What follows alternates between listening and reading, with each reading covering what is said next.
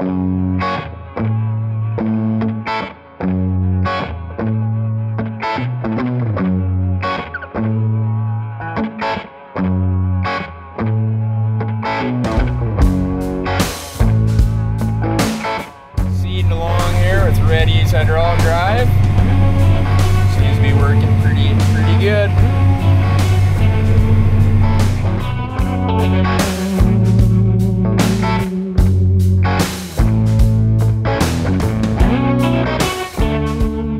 with uh, Brody and Dusty, Mayer, and uh, they're here in near Estevan, Saskatchewan. Yep, we're uh, Frobisher. Frobisher. we are, yeah. And they got a really neat setup going on here. It's kind of what we're all about is making do with what you got, right? Yep. And making do with for less. Not just making do, but actually thriving and getting the crop in and having the performance you need and getting the max yield, all that stuff. And they got some really cool stuff you're going to want to see, so make sure you stick around. We're going to check out their current setup in the yard that they're not using right now, but then they've got one running in the field right over there. Two New Holland carts hooked up to a 80 foot Seedmaster. That one's uh, 60 foot. 60 foot. Yep. Don't want to go too big. but check this out. We got a 2230 cart, and you guys are powering it, kind of like the old Concords, with a with an engine. Yeah, it's our version of the 690. There you go. it's a 690 Honda. and the reason for this, like we were just talking, was so you have the capacity, but you just swap carts for Yeah. the seed. This was your seed cart in the back. Yeah, seed carts in the back. We used to have the other 2320 on behind this one. And so you'd get about 50 to 60 acres per seed cart instead of stopping to fill. Just swap your primary hoses. Yep. You'd have another 50, 60 acres of seed again so you could run your fert out and then fill. Oh, so 1060, a P1060 New Holland cart. You guys run it as a double shoot or single? Single shoot. Single shoot. Yep. And the so capacity on this that is a 430. Yeah. A 430 there. 430s. So this one we run a blend in the front, blend in the back, and then phosphate right in the middle. And then for the toe behind, it'll be seed in the front, seed in the back, and phosphate in the middle. And they're all single shoot both carts kind of thing. Yeah. Hi, Stan. How's it going? Nice to see you. Nice to meet you. Yeah. I think we met at the KMOT show, right? Yes. In Minot. Yeah. That's when we first met. Now it's all coming back to me. You guys are having issues with. The, You're, uh, you're like, if, if we got to get this figured out. I remember there was like kind of like a, a moment where I'm going, oh crud, your operation depends on me. you know, if I got to get this hydraulic drive, you Yeah, know, to we work. Were, we were down all last year Yeah. with this drill, and because of the hydraulic drive systems, like the New hole and stuff, they couldn't make it parts for some of it. Yeah. Couldn't access any. So then I've been watching stuff on YouTube, and this looked like an option. Yeah. Watching just like you guys are. It's uh, Yeah. working pretty good. So it is working. Very good. So it went from a plea of help to help to we got it to work, even though I was Yeah. like, good thing Jesse was on the on the support here. How does it look back here, Russell? Okay, buddy. You're gonna clearing off all those wheels? All right, we'll come back and check your progress. So here's our P1060, right? But it's a tow behind. Dry rate controller. These are actually the most economical that we found. They're only like two grand instead of Yeah. Raven's like five grand or something. And then here's our version two hydraulic drive, I believe, that we just updated release this this spring. Full stainless steel back here. Yeah, you guys did good work. Yeah, and this is that better uh, speed sensor, Yeah. so it's gonna know if it's barely moving or not moving or. Yeah, it seems like it's working like really well. Mm-hmm. You can actually see like watching on the monitor, watching your race and stuff, and like the other carts, you can see them fluctuate. Now they like they stay where they're supposed to be. Yeah.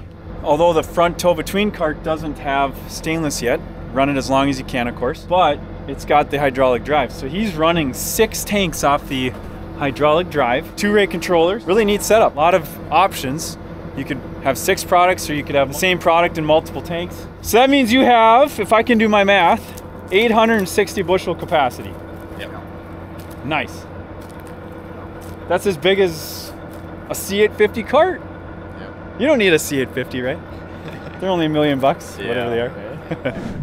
Well, we're here. We're here with uh, Brody Mayer, Mayer Farms. They've uh, done something unique, putting two carts together on a on a rig and running them all hydraulic drive. So we got six tanks running hydraulic drive.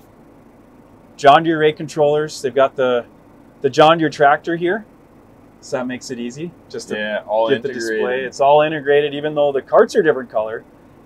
It's acting like it's controlled all by. It's like a John Deere cart, Yeah. essentially. Gen 5 John Deere monitor, which is tied with the rate controllers on both carts. So we got the got it set up so it's a tow between, labeled as tow between front for the P1060. And then this one is the tow behind P1060 here. So we can see them both on the same page, the cards kind of thing. So when you mm-hmm. hit your foot switch, see your master comes on while we're seating. So this is my set rates for each tank. And then this is what's actually getting put on while we're going.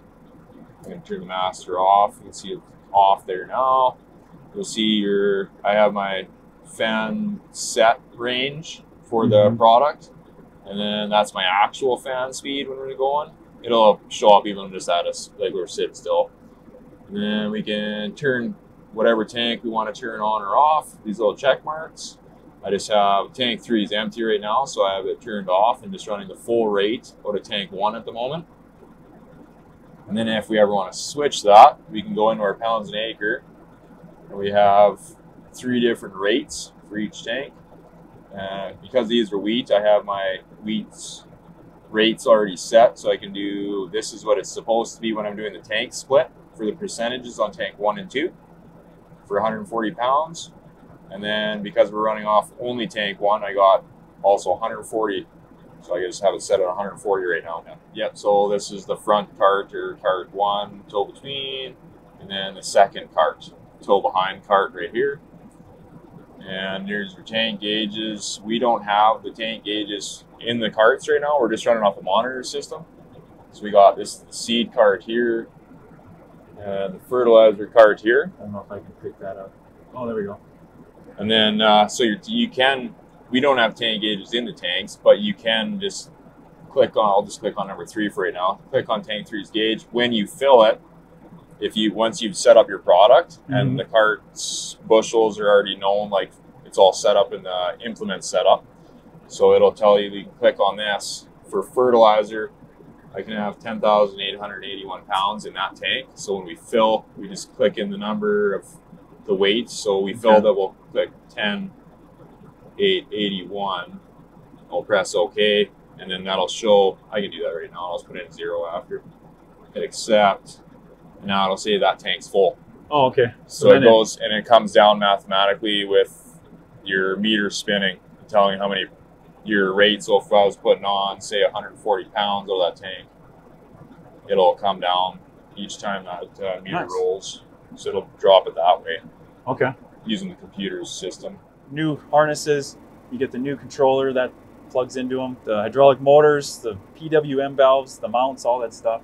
The sensors. Yeah, You get it all. It's all fresh. went together pretty good. Yeah, good. And then if you need it, stainless steel too.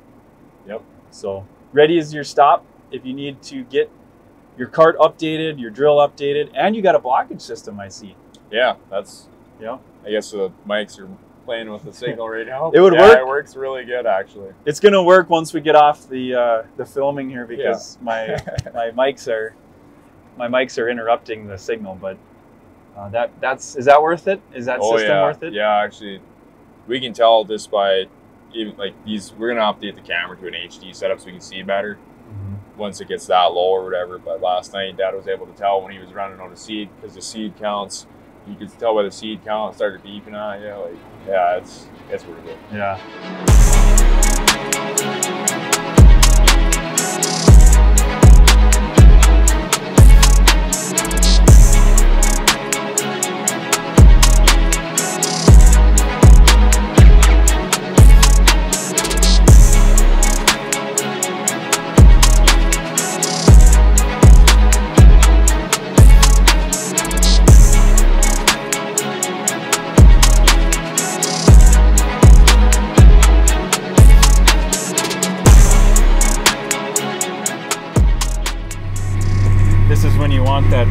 System Yeah. up and running. Yeah.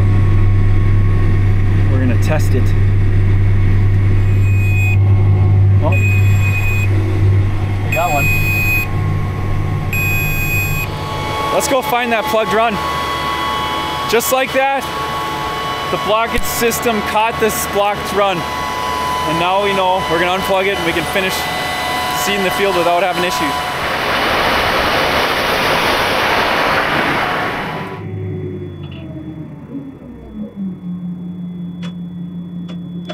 Transmission filter fault. Now we're trying to figure out if it's a wiring issue. This huge rig, everything was working fine, made two passes, and now it's shut down. How often do you guys experience this? This is insane.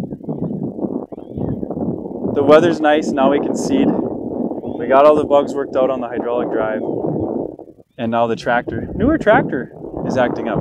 So we'll get a new sensor 13 miles away and. Hopefully be up and running again.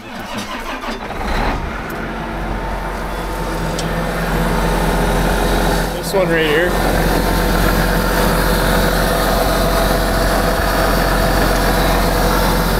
That little guy was holding up the whole show. Maybe. We'll see. Yeah, hopefully that's all it was. It doesn't matter how much it costs when it's keeping you from seeding. It's, you just, There's no way around it. you gotta go.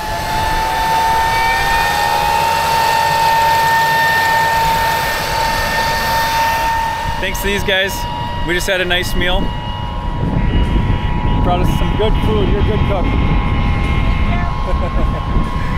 yeah, we're gonna get out of here. We gotta get back to Fargo and and uh, spend some time with our family. Go back to work tomorrow. All right. God bless. Thanks for watching. See ya next time.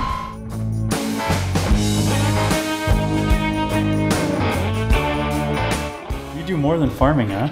Yep. Farming through the day, work on the car at night. Wow, that's a nice car. How much of this do you do yourself? Oh, last year we built the whole body ourselves, me and Brody, Wow. and uh, do all mechanical work ourselves. So performance farmers and performance race car drivers. Yeah. All right.